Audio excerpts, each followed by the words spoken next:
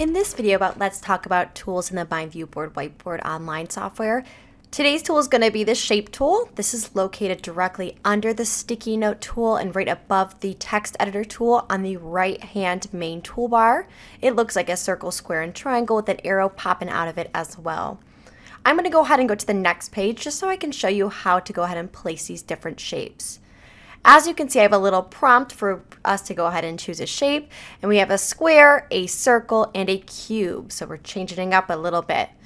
All of those are located in the shape tool that's on, once again, that right hand side in that main toolbar. And I'm going to go ahead and left click it once to go ahead and activate it.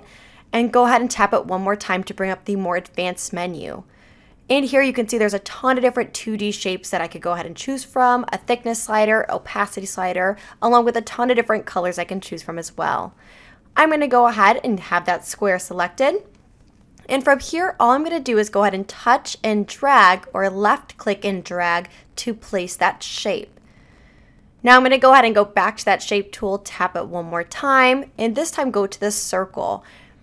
Now in here, I'm going to go ahead and change the color as well, just to add a little bit more pizzazz to it and hit the X in the top right hand corner. And from here, I'm going to just go ahead and touch and drag as well.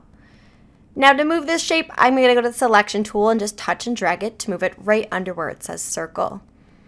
Now for the cube, we have to change it up a little bit just by going back to that shape tool one more time and bringing up the advanced menu and as you can see at the top, there is a ton of different rows of icons. The first one, it has a ton of different lines and angles. There is also a table maker, which is the last one, but I want to go to that cylinder that's the third one in. And as you can see, this is where my 3D shapes are. So I'm going to go ahead and select the cube, hit the X, and go ahead and touch and drag the same way. Thank you so much for watching this video about shapes, and I hope you stay tuned for more.